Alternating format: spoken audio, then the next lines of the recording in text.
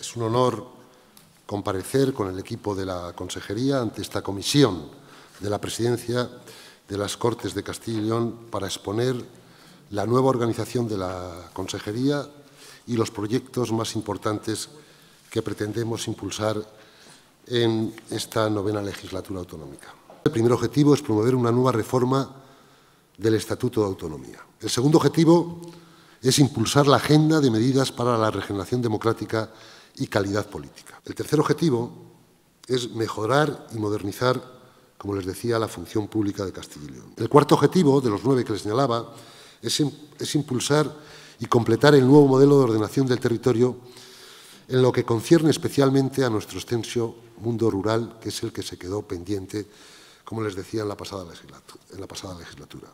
El quinto objetivo que le señalaba que nos proponemos alcanzar, estrechamente relacionado con la ordenación del territorio, es seguir mejorando la gobernanza y la financiación local en nuestra comunidad y hacerlo desde el estricto cumplimiento de los principios recogidos en nuestro Estatuto de Autonomía.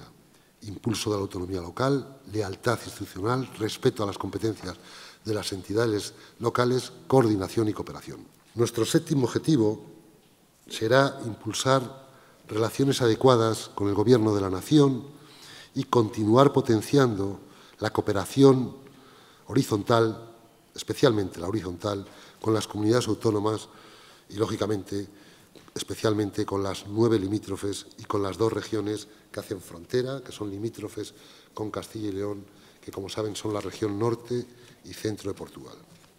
El octavo objetivo de legislatura que les comentaba es que nos proponemos continuar modernizando la Administración y avanzar en una simplificación administrativa de tercera generación. En noveno lugar, también será nuestro objetivo seguir impulsando adecuadas políticas migratorias y de cooperación al desarrollo.